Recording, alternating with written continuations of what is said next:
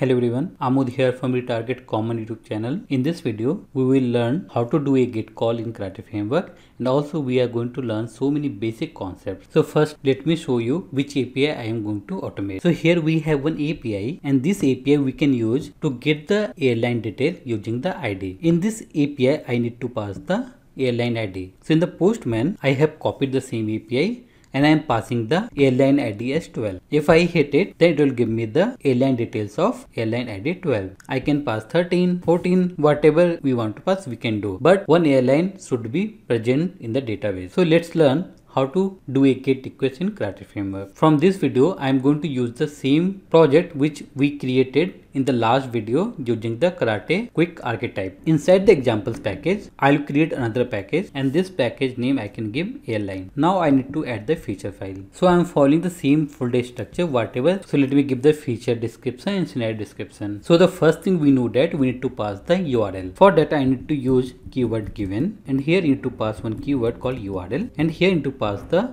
API in single quotes or double quotes. Next part comes which HTTP method it requires so it requires get so for that I need to use when and we have the keyword called method and here I need to pass get and after hitting the request we'll get the status code and response body. Let's focus on asserting the status code. For that we need to use then and we have the keyword called status and we to pass what is expected. Let me run this feature file quickly and show you the output so here you can see test case is passed and it is printing the URL and it is get all the request headers. Then it is printing the response code, response headers and we have the response body. Same thing it will be printing in the log also. Now let's see multiple small concept. In this API we have two parts generally one is called base url and then we have base path. Then you have some query params you can have path params. So actually we can divide this url into part. Let me copy this scenario paste it below and change the description. I want to pass only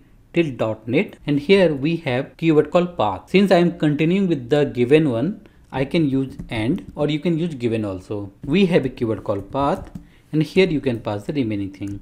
You need to understand one basic concept here. Karate will concatenate URL and path using the slash. If you don't pass it here, then also it will put the slash for you. If you put it also, then also it will ignore it. So you no need to worry if you pass it by mistake. Let me use the another path and for this path I will pass 13 and I can remove it from here. When I will run this scenario, it will create the URL by combining URL and all the path. Let me run this scenario. We can directly use this option and done. So here you can see that it has created the API properly. Suppose we need to pass some headers. Actually for this API you don't need to pass it but I will simply show you if you want to pass the request header then how can we pass it. And again I will put and only. If you want to pass the header then need to mention keyword called header. Then you need to mention the header name. So suppose i am passing the x request id and then you need to put the equal to and you need to pass the value. So i will pass test 1 to 3 so let me run this scenario. So if you see the headers here then we have x request id and the value is test 1 to 3 so here we know one way to verify the status code. When the api is hit so the response status code is stored in a variable called response status. And if you want to check that response status equal to 200 or 400 whatever you expect expecting means you want to do some assertion so we can use the match keyword so i can do the same thing like verifying the status code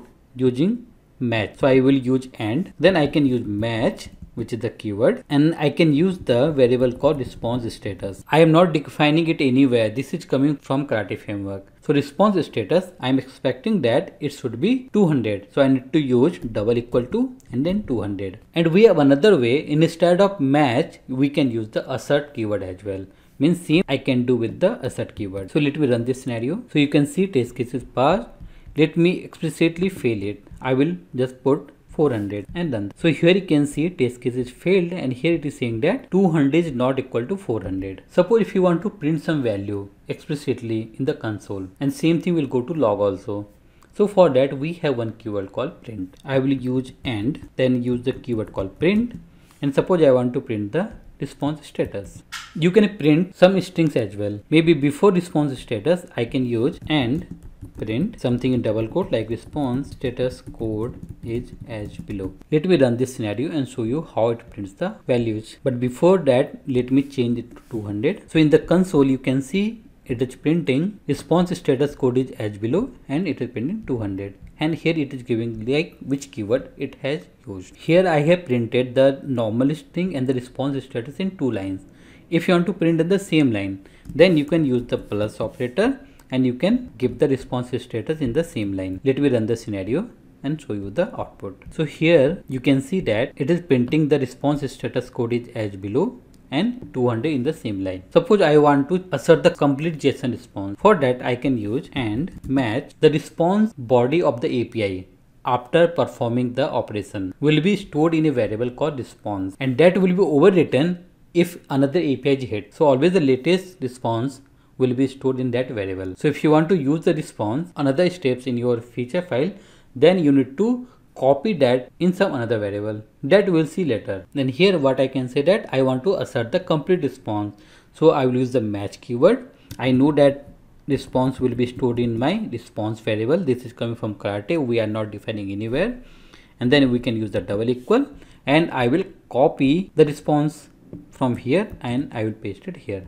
Let me run this scenario.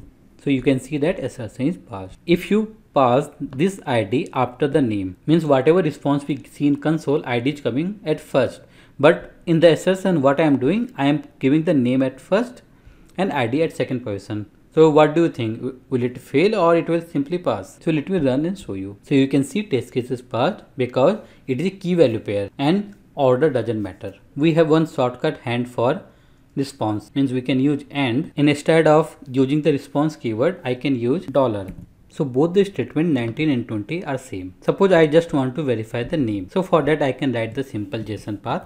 Use the and match. You can use response dot name double equal and you can keep this value. Or you can use and match dollar dot name double equal this value. Let me run this scenario. So you can see assertion is passed. Just make one mistake and run the scenario again. So here you can see that scenario assertion is failed. It is expecting Sri Lankan Airways, but we got Sri Lankan Airway only. Similarly, the response headers are stored in a variable called response headers. So let me print the response header first and show you how it is printed. And use the print keyword and I want to print response headers rich camel case. So obviously we need to remember these type of keywords because we are not getting any auto suggestions as of now. Let me run this scenario. So in the console you can see it has printed the response headers in a JSON object and for each response header key we have the value inside array. So actually it is a map of list. So if you want to extract any value from the response. So if you want to extract any value from response headers like suppose server or content type. Then we have some little different way here. And print I need to use response header and in the square bracket I need to pass the header name which will be content type. This will return me this part. So here I need to use index 0 then only I will get this value. Let me run this scenario and show you the output. So here you can see that it is printing the content type value from the response header. We can directly assert the response headers value as well. For that I need to use and obviously I need to use the keyword match and here I need to pass another keyword called header. It means that we are matching the header. Then I need to pass header name equal equal. Let me copy the value and paste it. Since we are using the match header, automatically it will take the header from the response header, not from the request header. Let me run this scenario and show you the output. So I made one mistake here. I need to pass the expected value in double quotes or single quotes. So you can see assertion is passed. Here we have two values in content type. I just want to check it should contain application slash JSON. I don't bother about this charset. For that we can use the contains keyword and let me copy this statement and instead of double equal here you can use contains and I can remove this part. Let me run this and show you the output. There is another way to get the response header as well. For that I can use again and use the match only. I want to assert the response header value. We have a variable called karate. Then I need to use the response. Means whatever response we got from there I need to get the header. And here you can pass the header name which will be content type. And you can use the double equal or contains whatever you want you can use. So this is the another way to extract the value from response headers. So that's all in this video. If you have any doubt please comment on this video if you really like my videos Please like, comment, subscribe and share with others. Thank you everyone.